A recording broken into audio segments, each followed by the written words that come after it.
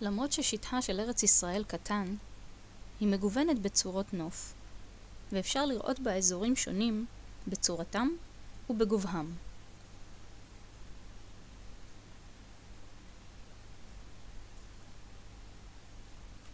בשיעור זה נבין את הקשר בין צורות הנוף לצבעים שבמפה הפיזית.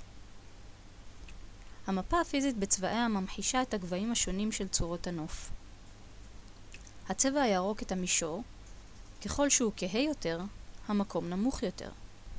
הצבע החום את הערים, ככל שהחום כהה יותר, המקום גבוה יותר. בשיעור הבא נלמד על הבדלי הגבהים באמצעות חתך גובה, ואחר כך נראה את המשמעות של הצבעים במפה הטבליטית.